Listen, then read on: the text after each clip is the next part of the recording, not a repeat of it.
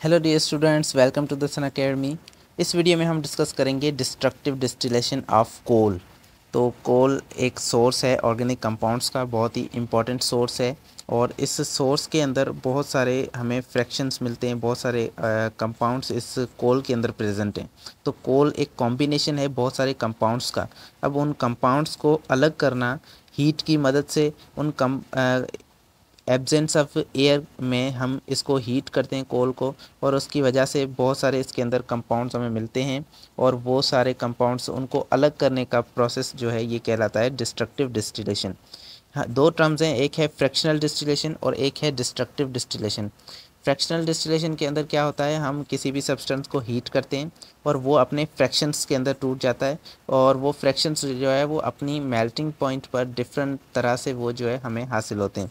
लेकिन destructive distillation के अंदर हम डायरेक्टली किसी भी सब्सटेंस को हीट करते हैं और वो जो है कोई सॉलिड सब्सटेंस होता है उसको हम हीट करते हैं। तो यहाँ पर ये डिस्ट्रक्टिव डिस्टिलेशन के अंदर हम एक सॉलिड सब्सटेंस को हीट करते हैं, जबकि फ्रैक्शनल डिस्टिलेशन के अंदर हम लिक्विड सब्सटेंस को हीट करके उसमें से उसके फ्रैक्शंस को निकालते हैं। तो वो मेल्टिंग पॉइंट के बेसिस पर होता है और यहाँ पर ये हम कोल की डिस्ट्रक्टिव डिस्टिलेशन कर रहे हैं। और ये हमारे पास जो प्रोसेस है, ये कहलाता है डिस्ट्रक्टिव डिस्टिलेशन आइए पढ़ते हैं। Coal is also a source of many organic compounds coal जो है, ये एक सोर्स है बहुत सारे ऑर्गेनिक कंपाउंड्स का, ये खुद एक सोर्स है ऑर्गेनिक कंपाउंड्स का, जैसे कि हमने पढ़ा कि कोल के अंदर हमें जो है वो कोल टार कोक वगैरह बहुत सारी चीज़ें मिलती हैं और ये कोल क्या है, एक प्लांट ड्राइव्ड फॉसल फ्यूल है, ये एक फॉसल फ्यूल है, हमें ज़मीन से मिलता है और प्लांट ड्राइव है मतलब प्लांट से ये निकला हुआ है जो मिलियन साल पहले प्लांट्स जो डिस्ट्रॉय हो गए थे, जो ज़मीन के अंदर आ गए थे, अब उनसे ये कोल बन चुका है। अब इस कोल के अंदर बहुत सारे ऑर्गेनिक कंपाउंड्स हमें मिलते हैं। Coal can be gasified or liquefied to get many organic compounds like methane ethane ethyne and hexane तो कोल को गैसीफाई भी किया जाता जाता है मतलब कोल को गैस के अंदर कन्वर्ट किया जा सकता है, या तो कोल को लिक्विड के अंदर कन्वर्ट किया जा सकता है। तो ये दोनों प्रोसेस जो है वो कोल के लिए पॉसिबल है। हम कोल को गैस गैस के अंदर कन्वर्ट कर सकते हैं, कुछ जिससे हमें कोल गैस मिलती है और कोल को हम लिक्विड से कन्वर्ट कर सकते हैं, जिसमें हमें कोल टार वगैरह मिलते हैं। तो ये सारे जो है ऑर्गेनिक कंपाउंड्स इसके अंदर से हमें मिल सकते हैं। जैसे कि जब हम इसको लिक्विफाई या गैसीफाई करते हैं तो हमें ये मीथेन मिल सकता है। मीथेन एक गैस है, इथीन मिल सकता है, इथाइन या फिर हेक्सेन। ये चार कंपाउंड्स हैं जो कोल से हमें मिलते हैं। उसके बाद इस प्रोसेस को देखें तो the process by which the coal is heated in the absence of air to produce many useful products is known as a destructive distillation of coal वो प्रोसेस जिसके अंदर कोल को हीट किया जाता है, कोयले को जलाया जाता है और हीट के अंदर उसको जो है एयर की गैर मौजूदगी में मतलब एब्जेंस ऑफ़ एयर होगी, वहाँ पर ऑक्सीजन प्रेजेंट नहीं होगी।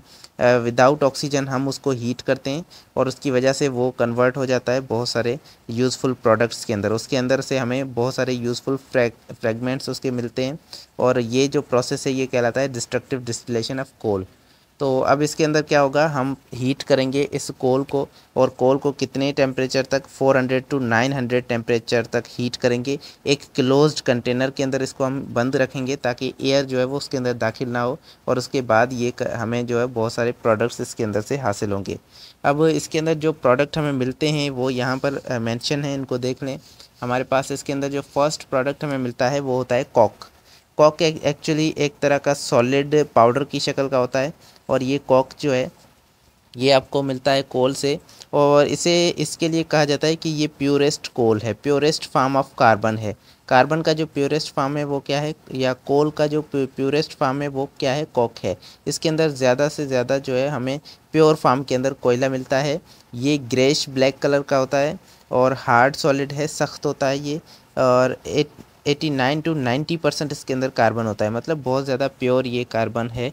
मतलब एटी एटी नाइन्टी एट से लेकर नाइन्टी नाइन परसेंट तक इसके अंदर सिर्फ़ कार्बन मौजूद है। तो इम्प्योरिटीज़ इसके अंदर बहुत कम है तो इसीलिए प्योर कार्बन इसे कहा जाता है। ये फ्यूल के तौर पे यूज़ होता है। साथ में ये रिड्यूसिंग एजेंट के तौर पे यूज़ होता है। मतलब ये खुद ऑक्सीडाइज हो जाएगा, दूसरों को क्या कर देगा, रिड्यूस कर देगा।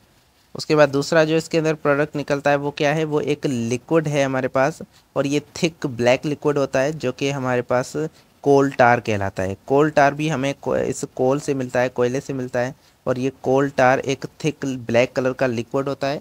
और इससे हमें जो है वो बहुत सारे और ऑर्गेनिक कंपाउंड्स इसके अंदर प्रेजेंट होते हैं। तो ये जो लिक्विड है, इसके अंदर भी ऑर्गेनिक कंपाउंड्स मौजूद हैं। It gives many useful compounds on fractional distillation like benzene toluene xylene naphthalene and phenols तो इस लिक्विड के अंदर, इस कोल टार के अंदर भी बहुत सारे ऑर्गेनिक कंपाउंड्स मौजूद हैं। जैसे कि बेंजीन इसके अंदर मौजूद है टोलिन इसके अंदर मौजूद है। टोलिन हम कहते हैं कि बेंजीन की रिंग के अंदर जब एक मिथाइल लग जाए तो उसे टोलिन कहते हैं। तो ये आगे हम पढ़ेंगे जाइलिन इसके अंदर मौजूद है नेपथेलिन क्या है, ये भी इसके अंदर मौजूद है और फिनोल्स मतलब ये हमारे पास बेंजीन बेंजाइल अल्कोहल भी ऐसे कहते हैं, ये सारे इसके अंदर मौजूद हैं। और ये सारे कंपाउंड्स आप आगे इनको डिटेल में आगे स्टडी करेंगे तो आपको अच्छे से समझ में आ जाएँगे। उसके बाद है कोल गैस कोल गैस भी हमें इससे मिलता है कोयले से, और ये जो है मिक्सचर होता है दो गैसेस का। एक हमारे पास मीथेन गैस होती है जो कि सी एच फोर ये मीथेन है और एक हमारे पास इसके अंदर वाटर गैस मौजूद होती है।